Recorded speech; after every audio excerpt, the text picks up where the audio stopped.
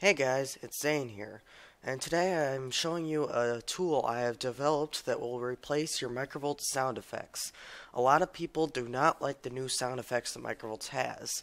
If you do not like it, this is the way to do it, and this will replace your Microvolts sound effects. I will put a link to download the tool in the description. Here, I will go to the download page.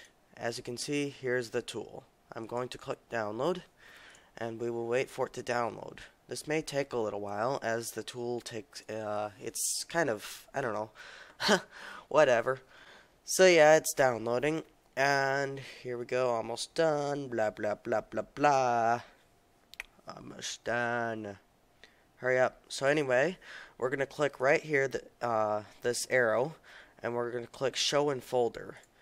Now it will show up right here, should, uh, let's see you're going to have to click show in folder after it finishes downloading. so anyway, here we have the um, tool. You right click on it and click run as administrator and click yes and then after that you click yes here and then I'll um, if you have a Microvolt Steam version um, then you type in this and if you have Microvolt's um, normal version, then you type in this. Uh, let me get it.